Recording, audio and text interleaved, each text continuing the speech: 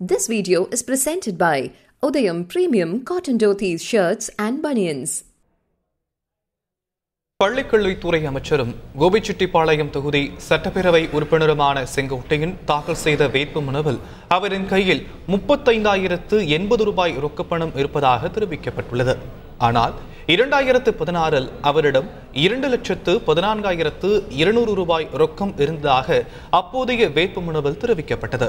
இதேபோல் இரண்டாயிரத்து பதினாறில் அவரிடம் இருந்த அசையும் சொத்துக்களின் மதிப்பு ஒரு கோடியே எண்பது லட்சத்து தொன்னூற்றி நான்காயிரத்து இருநூற்றி முப்பத்தி இரண்டு ரூபாயாக இருந்த நிலையில் இரண்டாயிரத்து இருபத்தொன்றில் எழுபத்து மூன்று லட்சத்து தொன்னூற்றி ஆறாயிரத்து நூற்று அறுபதாகவும் இதேபோல் இரண்டாயிரத்தி பதினாறில் அசையா சொத்துகளின் மதிப்பு மூன்று கோடியே ஐம்பத்து நான்கு லட்சம் எனவும் இருந்த நிலையில் தற்போது பத்து லட்சத்து இருபத்தெட்டாயிரத்து முன்னூறு ரூபாயாக உள்ளது.